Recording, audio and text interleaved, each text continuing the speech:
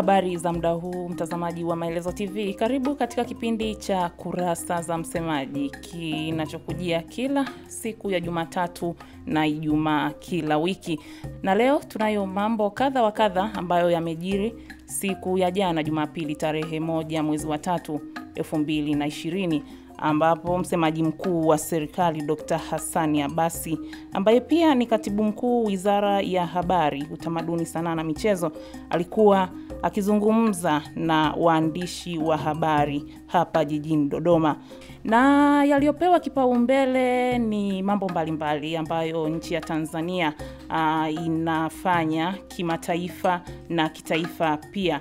Haya yanapatikana katika kurasa rasmi za msemaji mkuu wa serikali Dr. Hassani Abasi ambazo ni Facebook, Twitter na Instagram. Kati ya mengi yaliyozungumzwa ni pamoja na shirika la habari la kimataifa la CNBC lilivyorusha makala ya mafanikio mbalimbali mbali ya Tanzania kwa zaidi ya nchi mia moja ambapo imeelezwa Tanzania ilivyoendelea katika utekelezaji wa mambo mbalimbali mbali ya kimaendeleo ya kisekta.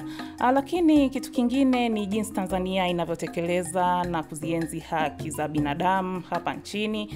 A, katika sekta za ujenzi kuna ukamilikaji wa ujenzi wa chelezo katika ziwa Victoria, huku ujenzi wa MV Victoria na ukarabati wa MV Butiama ukishika kasi.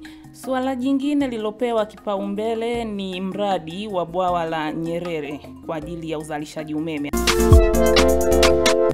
Nikianza naye Bernard Mzazi anasema ujue kama ndoto hivi, yaani unafikiri unashtuka halafu au shtuki.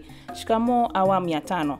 Malk Ayubu anasema hakika kazi kubwa inafanyika chini ya serikali ya awamu ya tano, kazi iendelee. Majagi Thomas anasema mimi kama Mtanzania, haya ndiyo matarajio yangu kwa Tanzania yetu. Mtazamaji wa Maelezo TV, kilichopewa kipaumbele zaidi kwa siku ya jana ni ujenzi wa reli ya kisasa SGR, ujenzi ambao kwa sasa unatekelezwa katika vipande viwili, kutoka Dar es Salaam kuelekea Morogoro na kutoka Morogoro kuelekea Makutupora mkoani Singida. Na hapa mtazamaji wa Maelezo TV, kwa ufupi tu tupate kumsikiliza msemaji mkuu wa serikali akitoa maelezo ya ujenzi wa reli hiyo ya kisasa. Miradi yetu yote mikubwa inakwenda kwa kasi. Reli tunatekeleza kwa sasa vipande viwili, kipande cha Dar es Salaam kwenda mpaka Morogoro. E, mvua zimesumbuasumbua kidogo, lakini tuko vizuri, tuko asilimia 75 ya utekelezaji. Na kipande cha Morogoro, hichi kipande cha pili ni Morogoro kuelekea Makutupora ya Singida kwa ni sawa sawa na kusema ni Morogoro, Dodoma, Singida. Nacho kimekamilika kwa asilimia takriban 28, tuki round up ni kama 30. Mradi huu wa reli unakwenda vizuri. Maana hiyo bado ile ahadi yangu ya Watanzania kupanda kwa mara ya kwanza katika maisha yao treni ya umeme wakati wowote itaanza kukamilika kwa kipande cha kuanzia Dar es Salaam kwenda Morogoro na baadaye E, Dodoma Singida.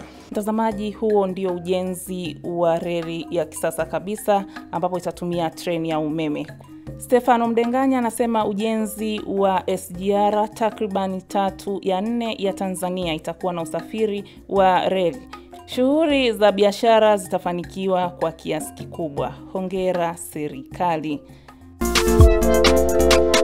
Mpaka nukta hiyo, mtazamaji wa Maelezo TV, sina tena la ziada. Ni kushukuru wewe uliyetembelea kurasa rasmi za msemaji mkuu wa serikali Dr. Hassani Abbas ambazo ni Twitter, Facebook na Instagram. Mimi ni Adeli na John Bosco, tukutane tena wakati mwingine.